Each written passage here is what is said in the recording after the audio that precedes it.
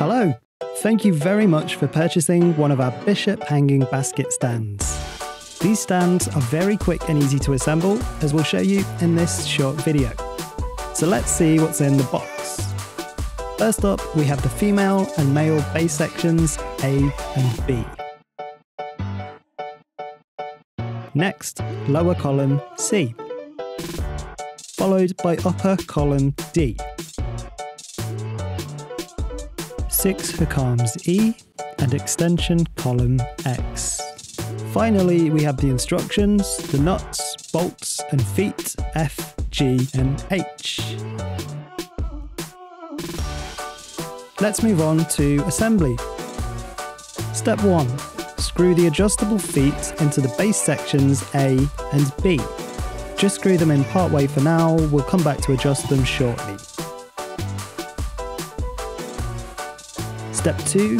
Fit the female base A to the underside of male base B using panhead bolt G. You'll need a Phillips or flat blade screwdriver to fit the bolt and ensure that it's tightened well so that the base is completely rigid.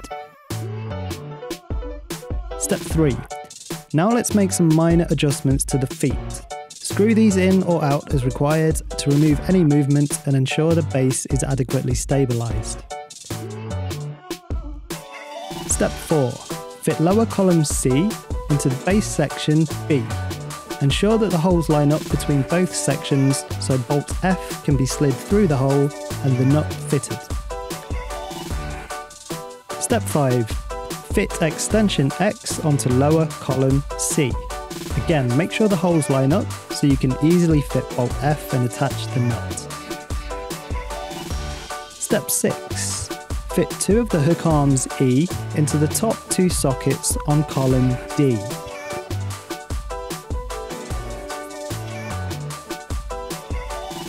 Step 7. Now fit upper column D with the two hook arms attached onto extension column X. As before, make sure the holes line up before fitting bolt F and attaching the nut. Finally, step 8. Slot the remaining four hook arms E into the sockets on upper column D and extension column X.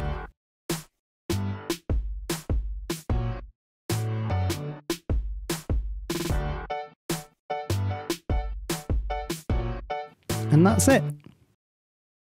Except for hanging your baskets, of course. Lastly, don't forget to register your product warranty at warranty.madebybishop.com. If you have been, thanks for watching and enjoy your new hanging basket stand.